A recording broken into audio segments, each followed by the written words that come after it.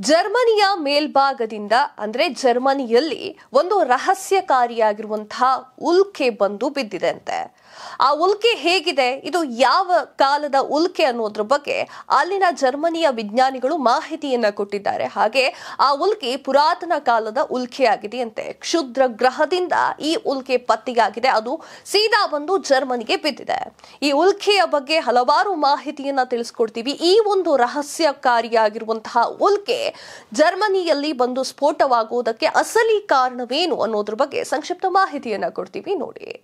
ಜರ್ಮನಿಯ ಮೇಲ್ಭಾಗದಲ್ಲಿ ಜನವರಿ ಇಪ್ಪತ್ತೊಂದರಂದು ಸ್ಫೋಟಗೊಂಡಿದ್ದ ಉಲ್ಕೆಯೊಂದರ ಬಗೆಗಿನ ಹೆಚ್ಚಿನ ಮಾಹಿತಿಯನ್ನ ವಿಜ್ಞಾನಿಗಳು ಹೊರಗೆ ಹಾಕಿದ್ದಾರೆ. ಸ್ಟೇಟ್ ಡಾಟ್ ಕಾಮ್ ವರದಿಯ ಪ್ರಕಾರ ಈ ಕ್ಷುದ್ರ ಗ್ರಹದ ತುಣುಕುಗಳು ಭೂಮಿಯ ಸೃಷ್ಟಿಯ ಮೂಲಗಳನ್ನು ಅರ್ಥ ಮಾಡಿಕೊಳ್ಳಲು ಸಹಾಯ ಮಾಡಲಿದೆ. ಉಲ್ಕೆಯ ಸ್ಫೋಟಗೊಂಡ ಐದು ದಿನಗಳ ಬಳಿಕ ವಿಜ್ಞಾನಿಗಳು ಅದರ ತುಣುಕನ್ನ ಸಂಗ್ರಹಿಸಿ ಅಧ್ಯಯನವನ್ನ ಮಾಡಿದ್ದಾರೆ.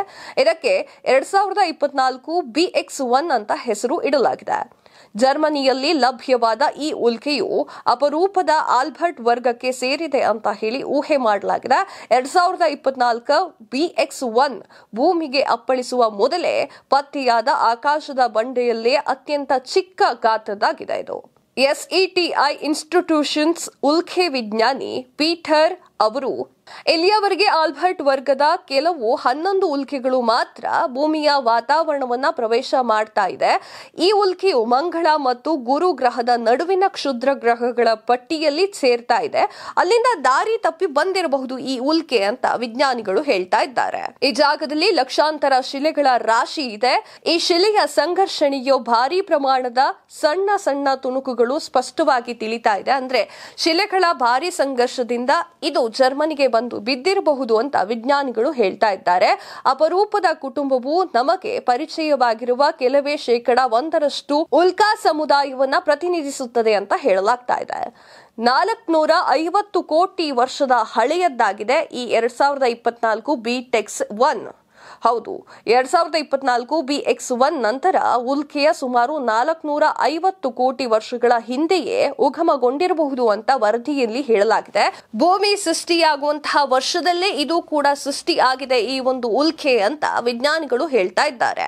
ನಮ್ಮ ಸೌರ ವ್ಯೂಹದಲ್ಲಿ ಗ್ರಹಗಳು ಸೃಷ್ಟಿಯಾದ ಸಂದರ್ಭದಲ್ಲಿ ಅಳಿದು ಉಳಿದಿರುವ ವಸ್ತುಗಳಿಂದ ಈ ಕ್ಷುದ್ರ ಗ್ರಹ ಮತ್ತು ಉಲ್ಕೆಗಳು ಸೃಷ್ಟಿಯಾಗ್ತಾ ಇದೆ. ಈ ಕಾರಣದಿಂದಾಗಿ ಉಲ್ಕೆಯಲ್ಲಿ ಭೂಮಿಯ ಗುಣಲಕ್ಷಣಗಳು ನೀರು ಹಾಗೂ ರಾಸಾಯನಿಕ ಕುರುಹುಗಳು ಲಭ್ಯವಾಗ್ತಾ ಇದೆ.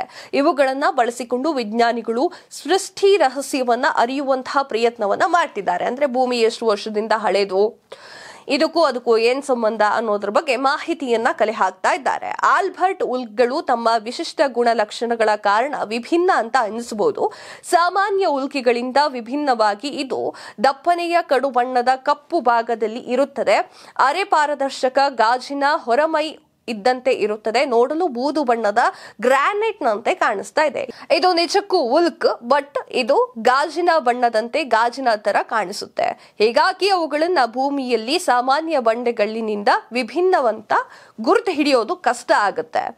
ಈ ಉಲ್ಕೆಗಳಿಂದ ಆಲ್ಬರ್ಟ್ ಭೂಮಿಯಲ್ಲಿನ ನೀರಿನ ಅಂಶ ಹಾಗೂ ರಾಸಾಯನಿಕ ಪ್ರಮಾಣಗಳಿಗೆ ಹೋಲುವಂತಹ ಅಂಶಗಳನ್ನ ಪ್ರದರ್ಶಿಸುತ್ತದೆ. ಈ ಹೋಲಿಕೆಯು ಕೋಟ್ಯಾಂತರ ವರ್ಷಗಳ ಹಿಂದೆ ರೂಪುಗೊಂಡ ಮತ್ತು ನಮ್ಮ ಭೂಮಿ ಗ್ರಹಗಳ ಸೃಷ್ಟಿಯಾದ ಭಾಗವಾದ ಅಧ್ಯಯನ ಮಾಡಲು ಅಂದ್ರೆ ಭೂಮಿ ಹಾಗೂ ಈ ಒಂದು ಓಲ್ಫ್ ಎರಡೂ ಕೂಡ ಒಂದೇ ಸಮಯದಲ್ಲಿ ಸೃಷ್ಟಿಯಾಗಿದೆ. ಈ ಕಾರಣಕ್ಕೋಸ್ಕರ ಭೂಮಿಯ ಬಗ್ಗೆ ಹೆಚ್ಚಿನ ಮಾಹಿತಿಯನ್ನ ಈ ಉಲ್ಕ್ ವಿಭಾಗದಲ್ಲಿ ಅಥವಾ ಉಲ್ಕ್ನ ತೆಗೆದುಕೊಂಡು ಅದರ ಗುಣಲಕ್ಷಣಗಳನ್ನ ನೋಡಿಕೊಂಡು ಭೂಮಿಯ ಗುಣಲಕ್ಷಣಗಳು ಎಷ್ಟು ವರ್ಷದಿಂದ ಇದೆ ಅನ್ನೋದ್ರ ಬಗ್ಗೆ ಅಧ್ಯಯನ ಮಾಡಲಾಗುತ್ತೆ ಅಂತ ಹೇಳಿದ್ದಾರೆ. ಇದೆಷ್ಟು. ಈ ಹೊತ್ತಿನ ವಿಶೇಷವಾಗಿತ್ತು. ಇನ್ನಷ್ಟು ಸುದ್ದಿಗಳಿಗಾಗಿ ನೋಡ್ತಾ ಇರಿ. Line TV Kannada.